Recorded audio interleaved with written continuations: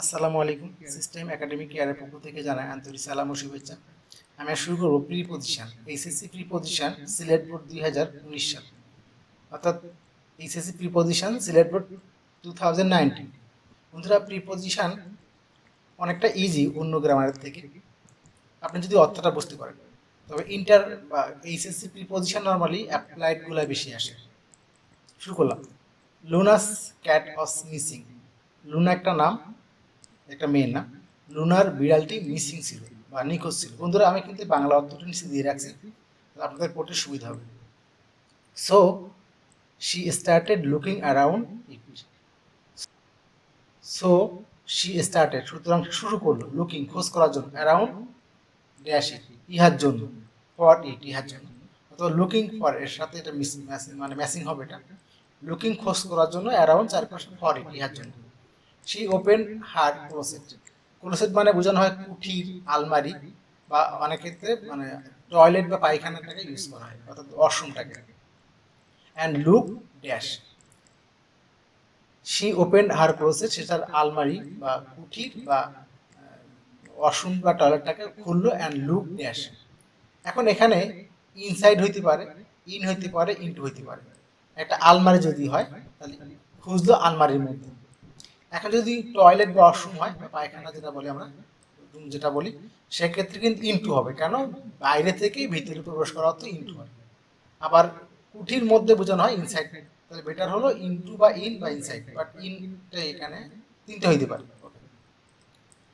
Then she went to the bedroom তার পাশে তার বেডরুমে গেল। ক্রলিং ক্রলিং মানে হলো হামাগুড়ি দিয়ে।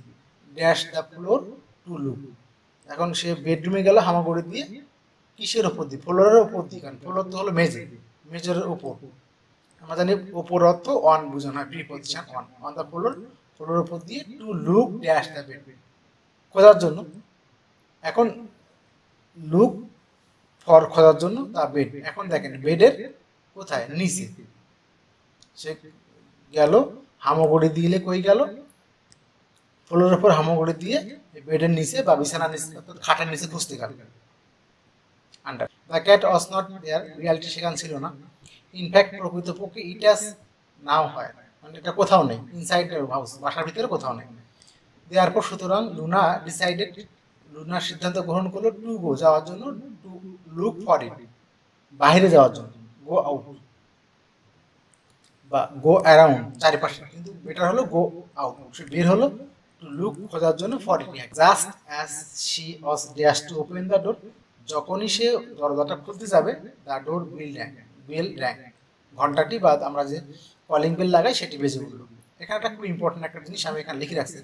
আবাউট টু মানে প্রস্তুত হওয়া রেডি একই অর্থ করে। বা প্রিপেয়ার আবাউট টু মানে প্রস্তুত হওয়া রেডি মানে তৈরি হওয়া বা প্রিপেয়ার তিনটা অর্থ একই মিন করে। অর্থাৎ রেডি বা প্রিপেয়ার যে অর্থ মিন করে আবাউট টু একই অর্থ মিন করে। তাহলে just as she was about এখানে অ্যাবাউট হবে অ্যাবাউট টু যখন সে তৈরি হচ্ছিল বা প্রস্তুত হচ্ছিল ওপেন দ্য ডোর যখন সে দরজা খুলতে যাচ্ছিল the door bell rang calling বেলটি বেজে উঠল।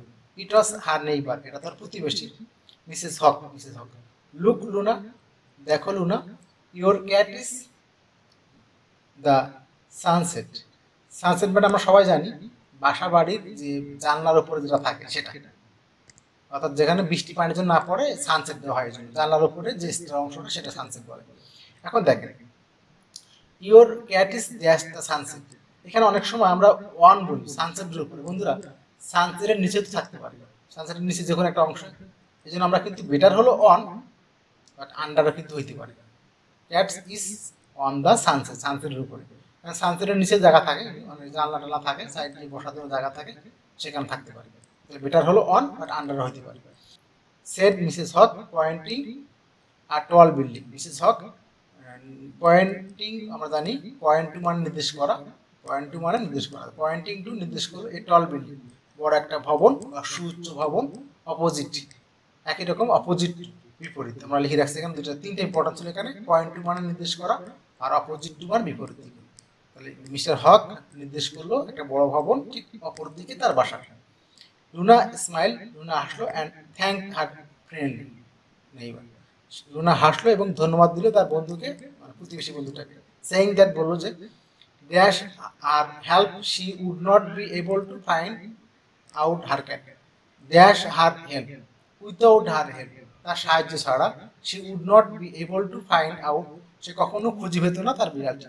কিন্তু এখানে দেখেন, এই যে প্রিপোজিশন আপনি আবার শর্ট করে বলে দেখবেন। অ্যারাউন্ড সে খুঁজছিল ফর ইট ইহার জন্য। এখান দেখেন লুক অ্যান্ড তাকালো কোন দিক তাকালো মানে এখানে অ্যান্ড সি লুক সে মানে ক্লোসেট মানে কি যেন আলমারি বা টয়লেট তাহলে আমরা এখানে ভিতরে ইন বা ইনসাইড বা ইনটু বলতে পারি। ভিতরে কোনো কিছু বোঝালে কিন্তু ইনসাইড বসে বাট বাইরে থেকে ভিতরে বোঝা, প্রবেশ করলে ইনটু বসে। সেক্ষেত্রে আমরা ইনটু ইউজ করতে পারি। এখানে অন দ্য ফ্লোর ফ্লোরের উপর বোঝানো হয়। দ্য বেড বেডের নিচে আন্ডার এখানে হলো গো আউট বের হলো। এখানে জাস্ট সি ড্যাশ এখানে অ্যাবাউট টু যদি এইমাত্র বা সে খুলতে যাবে, অর্থাৎ প্রস্তুত হচ্ছিল ওকে এখানে হলো dash cat is dash sunset on অথবা আন্ডার সানসেটের নিচে বা উপরে পয়েন্টিং টু নির্দেশ করা অপোজিট টু বিপরীত দিকে, আর এখানে হলো উইথাউট ব্যতীত।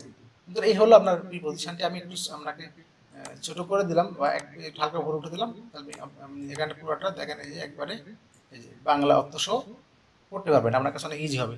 আমি সুবিধা করার জন্য আমি ডিসপ্লেতে রেখে দিলাম। আপনি বাংলা অর্থ দেখে দেখে পড়বেন।